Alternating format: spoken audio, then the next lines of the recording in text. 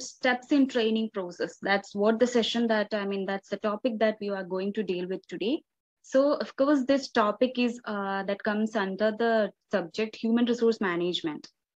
Basically, uh, to speak about this human resource management, uh, most of them, I mean, uh, all of them might be a working professional. So you might be able to understand importance of human resource management in an organization, right?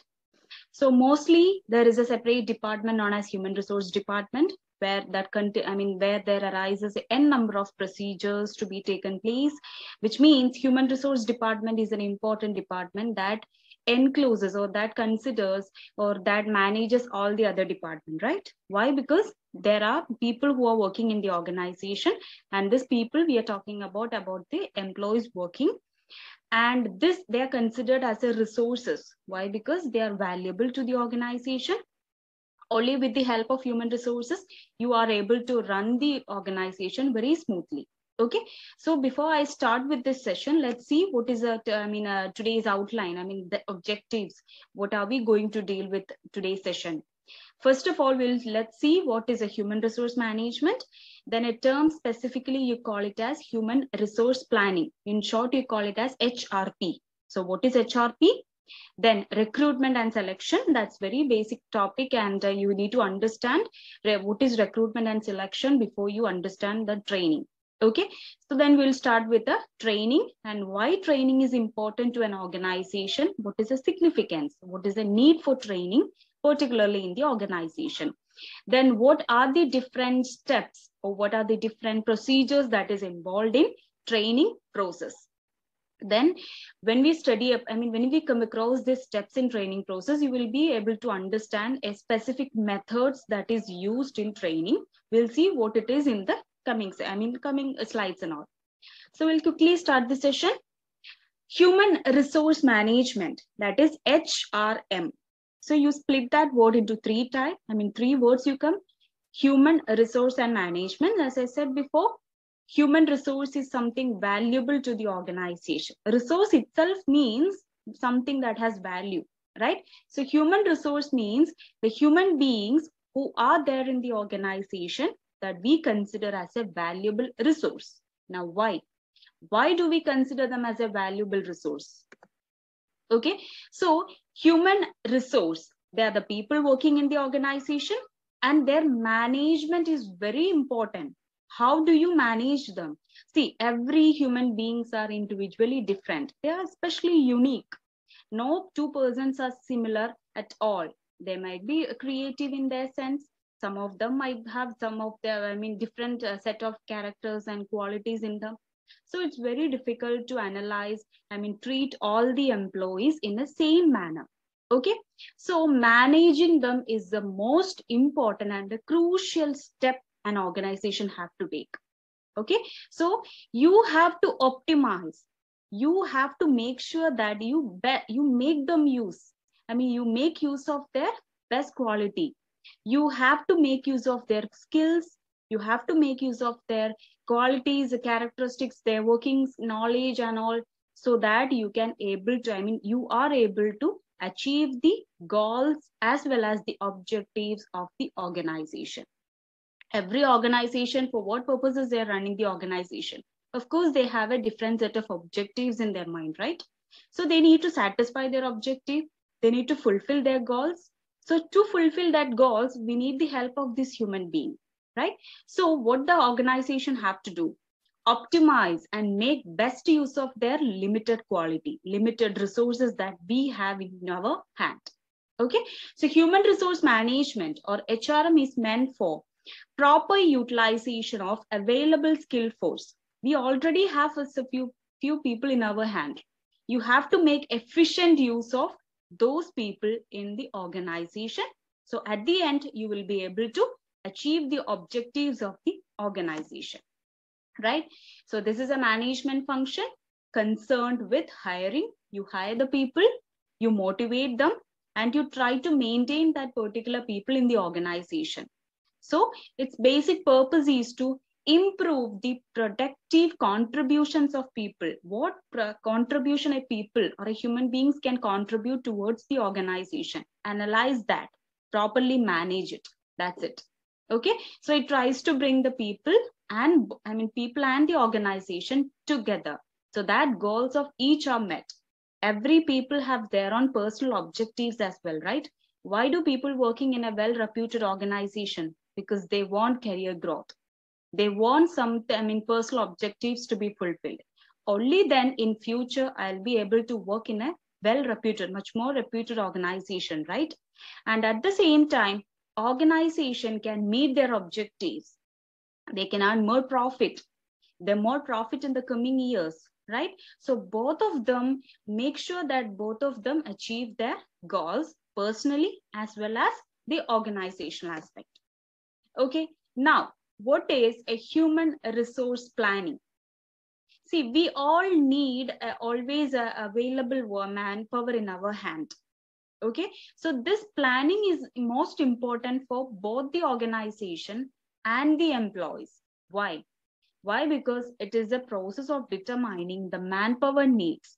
See for example you are aware about the i mean you means the organization is aware about the fact that a particular people a particular person that particular person is about to resign the coming month i mean the next month so that particular employee is supposed to handle many things in the organization, which is very essential that you cannot delay at, at any cost, right?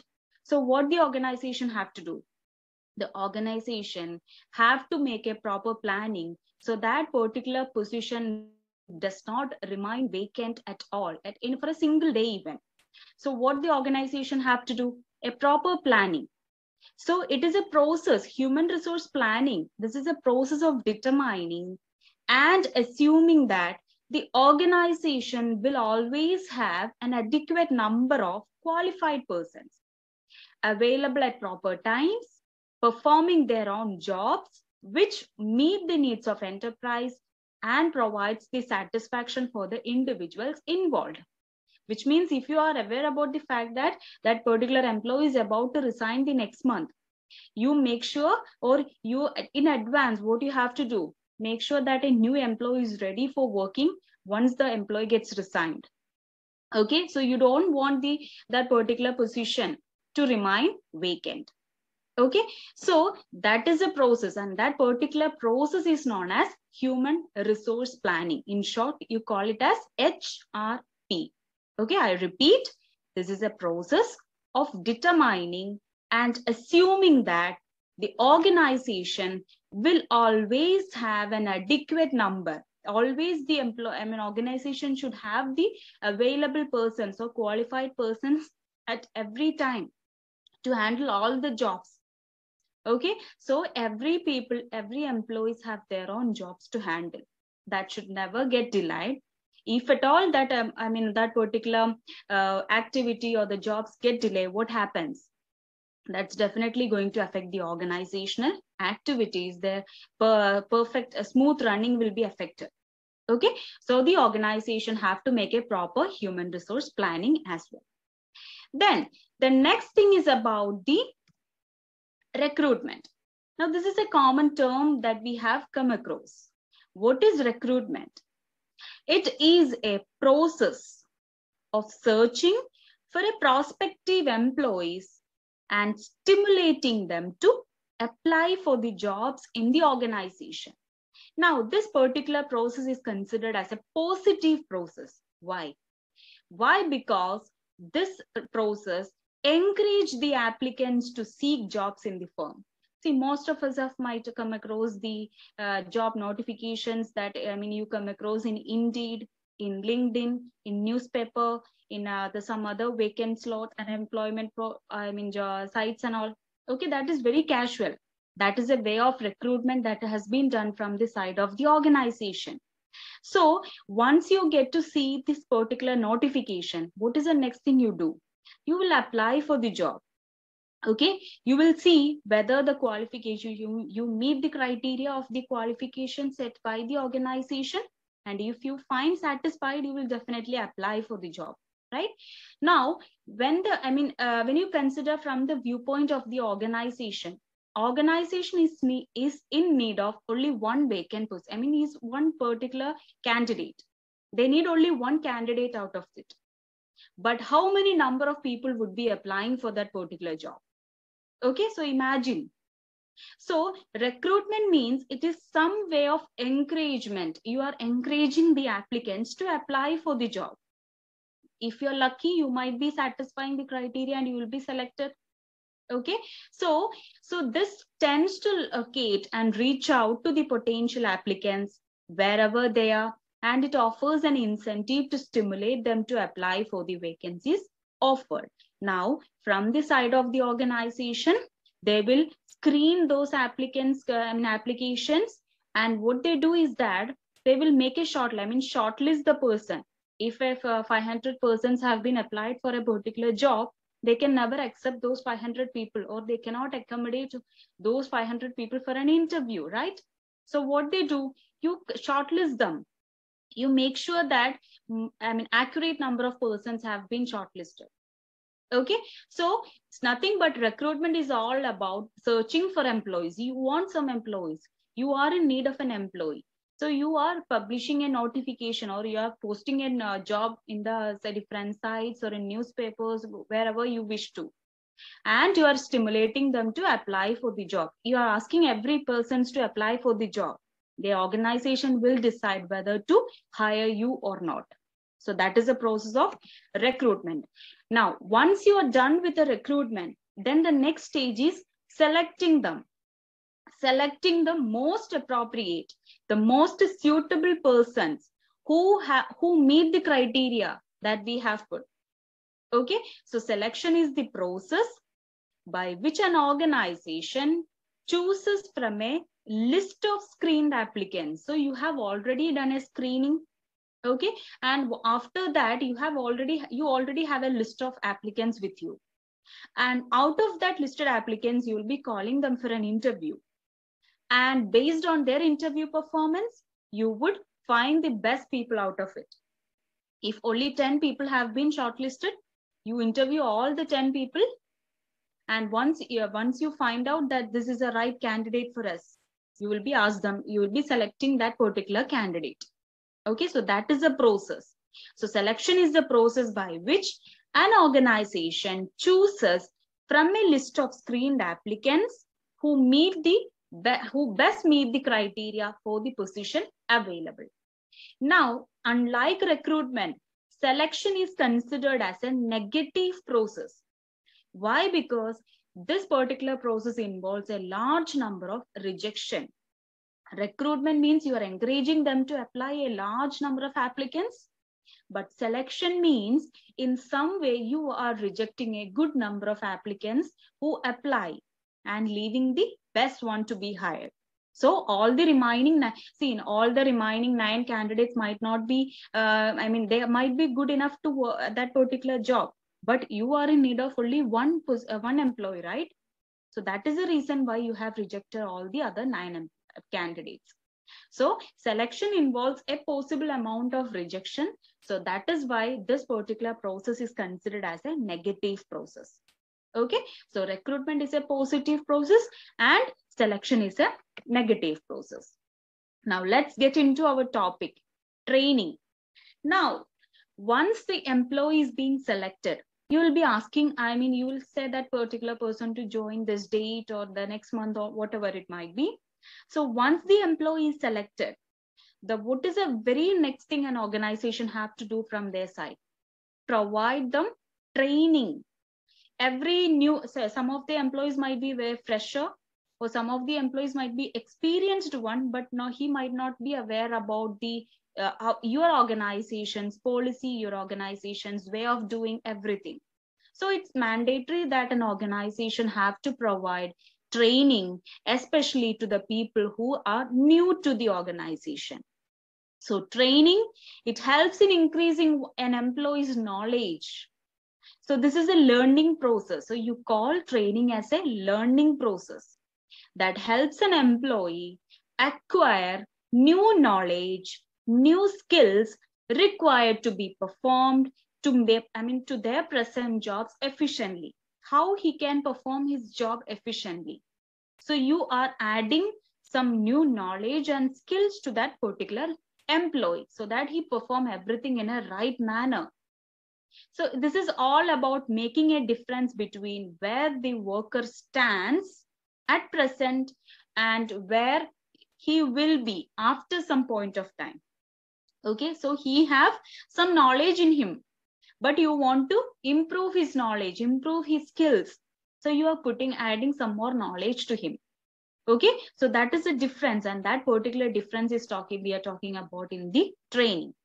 So this is usually a short-term skill development exercise meant for non-managerial employees, either to learn a job or to overcome their deficiency in performance of the present job. So this training might be, the duration of the training depends upon the organization. So it's the organization that decides how much number, I mean, what is the duration? Maybe it's 15 days, maybe three months. If it's a very, well, I mean, um, multinational companies and all, if their jobs are that much responsible enough, you have to provide them enough training okay so three months training two months training 15 days even one week training is also being implemented by different organization irrespective i mean that depends upon the nature of the organization whether it be a big organization or small organization. But providing training is very essential because only then the employees will be you will make the employees best fit for the that particular job so that helps him to perform his job very efficiently and prepare himself for the higher level jobs as well. Okay, then what is the significance and why do we say employees providing training to the employees is very essential? What is a need for training in an organization? First one, enlargement of skills and competency. See, you, you want to enlarge, enhance the technical knowledge and skills of the employees at all levels, whether it be at the lower level, middle level, or top level, providing training will helps to widen the knowledge and widen the skills an employee has. That helps the employee to learn new skills, new knowledge continuously. That will make him remain updated. I mean, that will make him remain up to date with all the things okay so whatever be the uh, nature of the job providing training to the employees is very essential. That is a basic and essential step an organization have to take from there. That's an initiative an, an organization have to take. Secondly effective utilization of existing human resource. See we know that human resources is very valuable to the organization right so when you provide them training, what happens? That will lead to improved performance. You will perform efficiently, much more efficiently, right? So you make optimum utilization of the available. You have some human resources with you. So make best use of it. Achieve both the, I mean, uh, individual will be having a personal goals, organization would be having their own objective, I mean, organizational goals as well, right? So make sure that both of them go easily and together. Manage them very efficiently. So both the organization and both the i mean both the organization and individuals achieve their goals efficiently. Okay? Now the third one is enhancement of customer satisfaction. Now the organizations are compelled to ensure the superior quality. You have to provide the quality goods to the customers. I mean you're compelled to lower your cost provide the better services to the customer.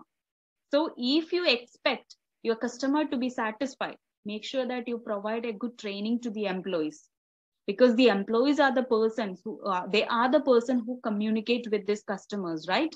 So if you want the customer satisfaction, provide training is very essential. Then enrichment of team spirit. Team spirit.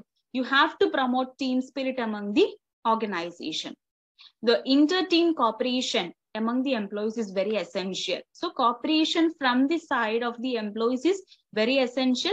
For that, you are in need of employee training, providing training. Then personal growth. So that personal growth means definitely once you're provided training to the employees, the employee itself starts to develop.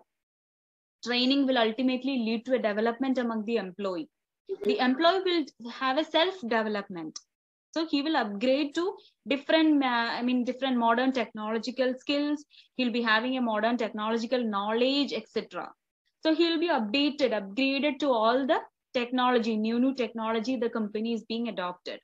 So training is like an investment. So once you provide the training, that will never go waste. Okay, so that is like an investment in people. You are investing in your people, in your people in the sense in your employees itself. Then enabling a learning culture. Learning culture is must that must be promoted within an organization.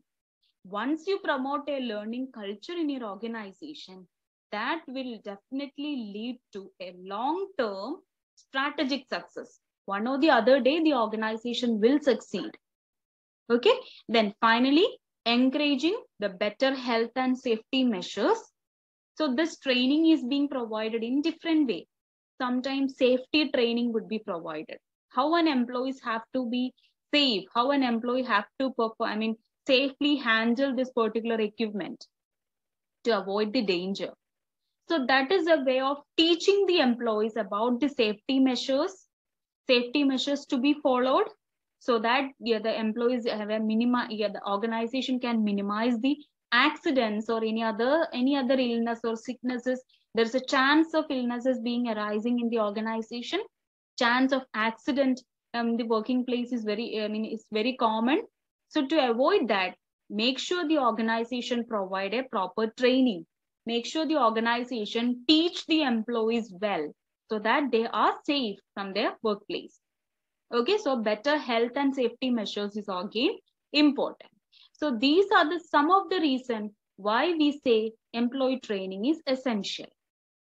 Okay, now let's see what is the steps or what are the procedures involved in training. So the procedures have been shown as a simple way. I mean, uh, the names of the, we'll go through the, uh, firstly, the major steps involved in the training. Firstly, determine the needs. What type of, I mean, what type of training the employee is in need of. So determine the needs of training. Second one, develop the objectives. What is the objective? What is the training objectives? So developing the objectives of training choose the technique technique in the sense what is a method what method of training is being provided by the organization so choose the method or technique fourth one identify the trainer. There must be a person who train the employees right? So the organization have to choose the trainer who have to be the trainer who is well in providing training to the employees. For fifth one is implement. Once you i mean once you analyze this type of technique i mean this method this training is needed. So the next step is implement them implement the program and finally evaluate evaluation is very essential after all these stages it's very essential to evaluate whether the training has been done in a i mean a proper manner whether the training lead to an efficient efficiency or not so these are the steps in an employee training process. Now we'll see one by one. First one is determination of training needs. So first of all, the organization have to identify whether this type of training is needed or needed or not. So the first step is to identify the specific operational skills to be developed for, it, for performing a job. So you have to identify the real needs of an employee. What really the employee is needed. Whether he is in need of this particular training or not. That is very essential. So make sure that particular training is well needed for the organization. Identify the real needs of an employee. What is the weakness of an employee? So make sure that you clean that. Okay. So generally, to recognize the training needs of an employees, an analysis have to be made. What type of analysis? Now, this analysis is broadly, I mean, considered under three levels. An analysis at three levels is being undertaken. First of all, under organization analysis. Second one is operational analysis. The third one is uh, individual analysis. So there are three and that type of analysis needed one in organization wise analysis operation wise and individual wise analysis organization means what the area where the need, I mean, training is needed. In which particular area this employee needs training. See, he might be very weak in understanding, I mean, everything, maintaining everything up to date, up to date. So you know what particular weakness have the, I mean, the employee have. So identify that area. You identify which area the training needs, I mean, the employee is in need of okay? Then you identify the organization analysis means you are supposed to identify the organizational objective. What is the objective of the organization? What is the mission? What is a vision? What is a goal of the organization? Examine them carefully. And then compare with the existing manpower inventory to determine the training needs. So first of all you identify what is the objective of the organization then you compare it with your employee whether he is able to satisfy or whether he is able to achieve the goals of the organization as well. So that is the analysis under organizational level. Second one operational wise. What type of task is to be performed by this particular employee? What type of task? So this involves the proper examination of work to be performed after training. See he is supposed to handle all the accounts. He is supposed to handle all the, I mean, he's supposed to prepare all the quotations. He have to deal with all the clients. So the employee, I mean, organization have to, I mean, make them understand how you should deal with a client, how you should prepare a quotation. So once you prepare a quotation or uh, what to say, once you prepare a quotation or quote, make sure that what are the things you have to consider. So he have to do all these things alone after the training right?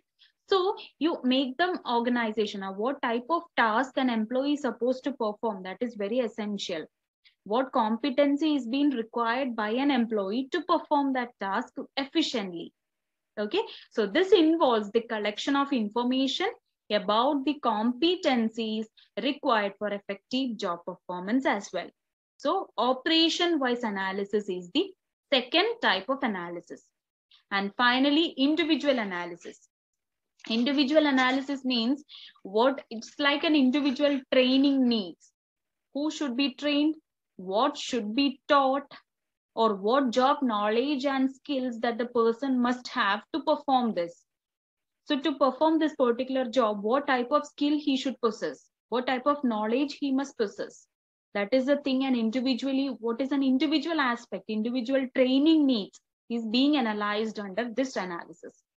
So basically three these three types of analysis is being conducted under i mean under this first stage that is determination of training need. So this is the first step involved in training. You identify which area I mean, which area the employee needs training. That is the first thing an organization have to see. The second, I mean, the second stage is development of training objectives. So training objective means once the training goals have been established, the next step is to determine the specific objective. See, every training program have its own objectives. My training program would be to I mean, uh, making them employee uh, familiar or make them employee teach all the things regarding the quotation wise or regarding the admin level jobs or regarding the sales and marketing jobs. So I need to come accomplish all the things. I need to teach the employee everything about the sales. I need to teach the employee everything about the operational department. Okay, so every training program have its own objectives so once you're once you're done with the training, you make sure that you have achieved your objectives. You have a t i mean, you taught all the things necessary to perform that particular job. Okay. So however, these objectives must be directly related to the assessed training needs and should focus on satisfying those needs. So every training program must have a clear and concise objectives and that must be developed to achieve the organizational goals as well. So developing the training objectives is the second step the organization have to see. Now the third one is selection of training technique. Now once you are once you have identified the need of training, and then you identified the, i mean you have developed an objective for your particular training the third step is which method i have to choose which method is the best one so basically there are two types of training method or there are two types of training technique. Or two techniques of training. And you call them as on the job training. The second one is off the job training. So that name itself defines them. On the job training and off the job training. So in the middle of this uh, steps in the training process, I am just, uh, I mean, uh, making you aware about the, these two methods as well. Okay, we'll see what are these two methods. On the job, which means you are imparting a real-time training at the work spot, even while doing the actual job. See, once you're put into a job, you are actually doing your daily activity in your job. You're actually dealing with your work. Along with that, as a part of your job, on a day-to-day basis, I mean, in your working time, is you, if you, if you you have a specific working time in your office, right? So in that working time itself, half an hour or one hour training would be provided in the organization itself so the employees are asked to learn their job by actually doing it. That, you, that is why you call it as on the job, which means you are training, you are being trained in the mid of your job. You are not you are, you are not being taken to some other place for training. You are not being taken to any training center, but you are given you are being given training when you are actually doing your job. So imparting a real time that is provided at the workplace this type of training or this type of teaching is being handled in your workplace itself okay in your working time itself so this type of training is usually practiced on a day-to-day -day basis along with or as a part of the job. Now the second type of technique is off the job. That is just the opposite. This type of training means this training takes place at a place away from the work spot and in formal classroom. So off the job means when the training is being provided, you are not being asked to do your job, which means that particular training would be, I mean, would be handled apart from your workplace, somewhere further away, or maybe near your workplace. Okay, so this might be your training center or any other specified classroom setup and all that depends upon the organization. So this purpose of this job of the job training is to minimize the distraction to the trainees and these methods are ideal for teaching the theoretical aspects of the job. So that is why you call it as off the job training. So now let's see, before we continue with the training process, I will just give you some examples for this on the job and off the job training. First one under on the job training. First one is job rotation. See, job rotation is a one way of giving an on the job training. Rotating, I mean, rotating your daily activities, rotating from one job to your particular job one week maybe you might be uh, what to say you are used to do your admin works every day on a daily basis. You are very specialized in doing that. But the next week you are being asked to handle this particular admin along with the admin you are being asked to handle the account section as well. So which means the organization wants to make you specialized in the other category or other area as well. That is a basic objective of job rotation so the purpose of this method is to expose the employees beyond the scope of their present knowledge. See, they have, they do have knowledge about handling all the admin works, but the employee needs to widen their knowledge. Employee needs much more knowledge in this particular area as well. So you are giving additional responsibility or else an employee would be asked to move from one job to the other job just so that they can improve their knowledge, improve their skills, their experience, etc. So they are frequently applied by the organization to promote effective teamwork. So you switch the person's job from one area to the other area. That is the perfect example of on-the-job training. Now, the second one is internship. Now, this is a common term or the common placement services that we that we heard about uh, basically this is being conducted in the organ i mean uh, in the colleges and all. So what is the purpose of this? All most of the students who are i mean mba students who are first masters the colleges would be taking an initiative for an internship. The i mean the management would be asking the postgraduate students to go for i mean go uh, i mean undertake an internship. The internship duration might vary maybe for one month 15 days, two months, three months, depends. Depends upon the decision taken by the management. Now, what the students are asked to do, they are masters. I mean, the persons who, I mean, the students who pursue this uh, courses, MBA, uh, MCOM, and other master degrees, they already have theoretical knowledge right they already have theoretical knowledge of every aspect they deal with n number of subjects in their entire care i mean entire study Okay, so along with this theory session, they are being asked to involve in the business practice. That means get into the business practice. So they would be placed to some other company. They would be asked to join some other company. Let's say ABC company, XYZ company. So if they have been asked to work in this particular company for a period of one month, that's the duration means they are supposed to work there only for a one month. That's a temporary job. No obligation from the side of the company to hire them permanently after the training and no obligation from the side of the students to agree to that job offers of the company once they are done with their studies. So there is no obligation from both ends.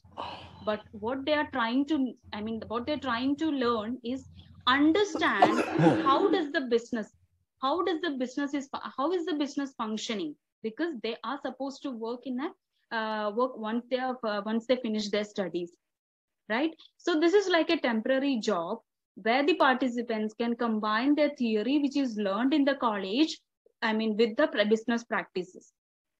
That is known as internship. So these are the two examples of on the job training. Now when we consider off the job training that is example we can say simulation method. Simulation method means what? This is like an M method. Uh, can you please, um, I mean, mute your, I, I can hear somebody's, okay. So simulation method, now this method is employed when it is impossible or risky to provide the trainees on the job training. So if the organization is finding very difficult to handle, uh, I mean, on the job training, when it's not possible, there are some situation where the um, organization can afford, cannot afford to the on the job training methods. So they simply switch to simulation type of method. Now, what does this method tells us? This is a technique that creates a situation which as nearly as possible replicates the real one. So you are creating just an artificially, you are making an artificial workplace so that you are putting the employees to work over there. Okay, so this refers to an any equipment that attempts to provide a realistic decision-making environment for the trainee. For simple example, I can tell you about the people who have been working as a pilot. I mean, they are being trained to handle this airplane. So how can we handle is it necessary? Is it possible uh, to give an, a real real aeroplane to that particular pilot or that particular student to take care of it's not possible. That is risky on one hand and on the other hand that includes a damages. If that dam if any type of damage happens that's very costly. It's not possible for that particular institutions to afford it. So what do they do? So since they are expensive, since they're expensive uh, to make uh, make the employees handle it, they just make a real. I mean that artificially they they are making an aeroplane that is uh, and you make them available for that particular student to do, do that. Okay? So this is basically done to avoid the risky i mean the uh, you you are considering the trainees life. You wanted to consider the risk. You don't want to risk the life of a trainee. At the same time, you cannot afford the costly damage that might incur. So you simply create an aeroplane that is artificial aeroplane and you make them do that. So that is some one example. Simulation means you are creating an artificial workplace so that the employees can really understand how he will be able to handle this when he are in i mean when he is all uh, when he comes on board. Okay? So that is simulation method. Next one is lecture method. Now this is very simple. This is a lecture method is just like a chalk and talk method. You are giving a knowledge to a larger number of trainees at the same time for example if a five or six number of um, uh, candidates have been uh, appointed to that particular organization you wanted to give that all the seven employees same level of training same level of training. So the best method is providing the lecture. So this type of method is basically used when you have a limited time in your hand. See you don't have many time to provide in three months or two months training and all. So just 15 days is enough means this method is much appropriate. So this is a way, way of verbal form of delivering the information. You provide as much knowledge as much new knowledge new skills to the trainees and make them capable of doing all the work easily. Okay? So that is the lecture method. So lecture method and the simulation method is the two examples or two different way of uh, two different type under of the job training so that was the uh, that is about the technique of training so selecting the organization have to decide which method of training to provide. So that is the third step involved.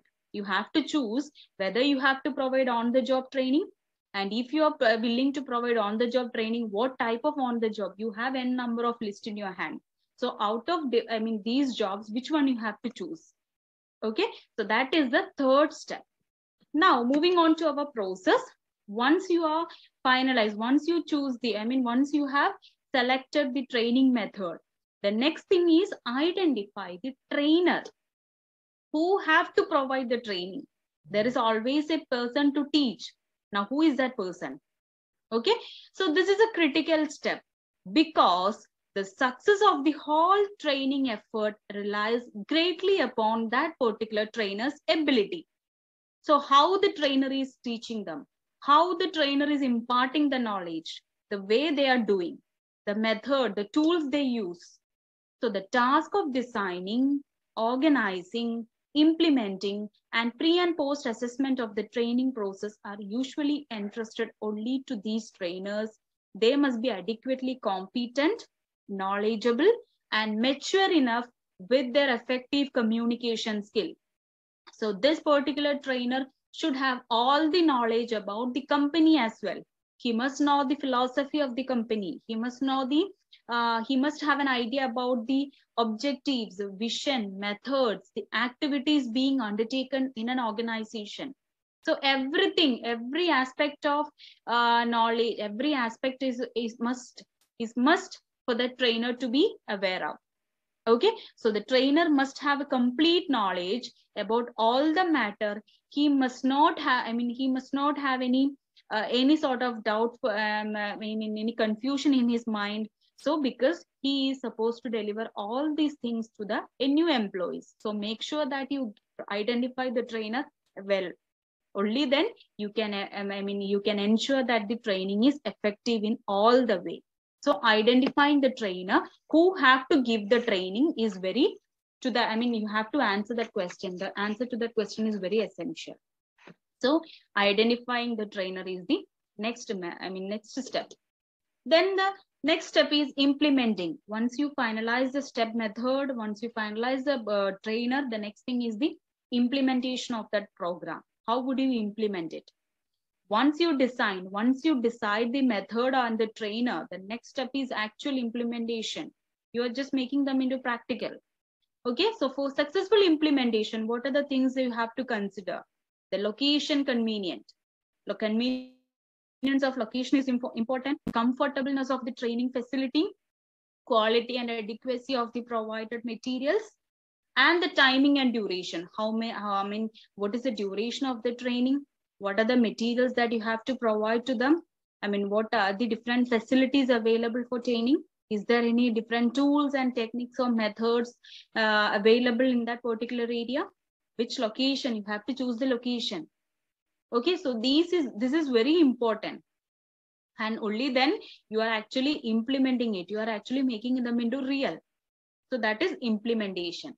And once the training is completed, the final stage is employee training process is evaluation. Evaluate them. How did the training go? How effective the training was? You have to compare the knowledge of the employee. See, before he did not know, uh, did not have any aware, he was not aware about all these facts. Now is he aware about everything? Once the training is completed, you identify whether the all the employees are aware about all the things regarding the organization, regarding the job he have to perform, regarding the colleagues, everything.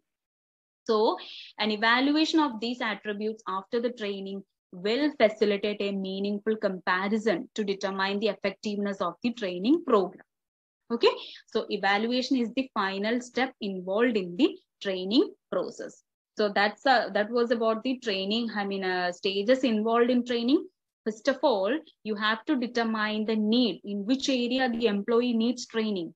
Second one, when once before you start the training, make sure that your training program have a well set of, I mean, uh, well concise objective. The third one, you have to choose the method or choose the technique, whether it's an on-the-job training, whether you are ready to provide off-the-job training. The fourth one is who is supposed to provide the training. Identify the trainer. Then once you have once you have a complete idea about all the steps, make sure you are, I mean, you are ready to implement the program. And once the training is completed, you are conducting an evaluation, analyzing whether you whether the uh, training was successful or not, whether the employee got to know about all the things. So that is about the evaluation. Okay, and finally, we will let's see what are the different conditions necessary for an effective. That's the last final topic. Conditions necessary for an effective training program. What are the things that uh, organization have to take may, to make sure that their program, having training program, is being effective? First of all, support from the top management. The top management must be support and they must understand the need for training they must not think that see this is a costly process so we don't want to spare our time just uh, giving them training and all. So it's unnecessary. That should not be the viewpoint of the management. But i mean what they have to do they have to be very supportive. They have to be very committed towards this training. They must treat this training as an investment. Only if you put an investment in the, i mean today in i mean when the organization is taking an initiative for this training that is definitely going to be affect in future i mean affect in the sense positively. So support from the side of top management is very essential. Now the second one is nurture a positive mindset among its trainees and its training program. So it's very essential that an employee or the trainee must be willing to uh, willing for this particular training. His mind his mindset must be in such a way that he's ready to accept i mean he's ready to take that program so the cooperation or the cooperation from the side of trainee is very essential. If he is willing, only then this particular training would be effective. So only then he can understand, he can learn new skills, knowledge, and uh, very, very easily and quickly. Okay, so the positive mindset among the trainees is again important. Then adoption of a continuous process this i mean uh, a management should adopt a uh, i mean should adopt a comprehensive a continuous at the same time a systematic approach to meet the training needs of their employees. So adopting this as a continuous process there should not be any delay is very essential. There must be a system you, that must systematically happen. And finally form and timing of training. Now ideal time to learn in the time i mean ideal time to learn is the time when the training is helpful to the employees the organization should always have should scan the opportunities. They have to scan the environment. So they have to understand what are the opportunities being available outside what are the threats what are the weakness an organization is being facing. You have to identify this. That can be identified only through scanning process. Okay? So organization must be up to date in scanning their environment. At the same time you have to provide the training at the correct time so once you appoint an employee freshly to the organization, give them training as soon as possible. Do not put them into a job before you provide adequate training.